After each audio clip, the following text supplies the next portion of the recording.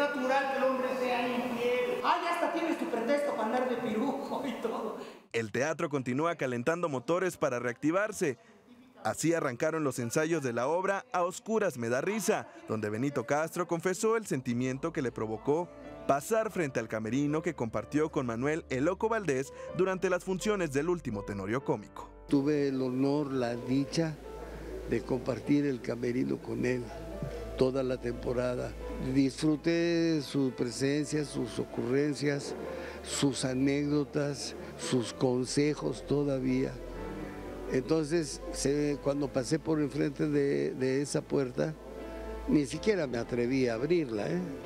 Me quedé así, se me hizo un nudo en la garganta y hasta así como una mareadita y me, dije, reponte, reponte, respira hondo, tranquilo, no llores, ahorita no es momento de que llores, tranquilo. Cualquier cosa que hubiera dicho hubiera traído lágrimas y angustia más a mi corazón. Entonces traté de respirar profundo y de, y de superar el momento y a lo que sigue, porque aquí no te puedes detener.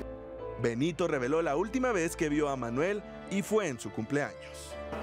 Estuve en su último cumpleaños, eso sí, aquí en el hotel en Polanco, con sus hijos, su nieto, con todo y que ya estaba malito y muy lento y todo, nos hizo reír porque no perdía, no perdió jamás el sentido del humor ni la chispa. No, ese fue el último día que lo vi, que lo vi con vida y disfrutando. Benito agradeció que se esté reactivando el teatro. Benito sea Dios que nos concedió esa, ese ruego, esa petición que durante todos estos meses le he hecho mañana, tarde y noche a Dios Santísimo, eh, nuestro Señor Todopoderoso.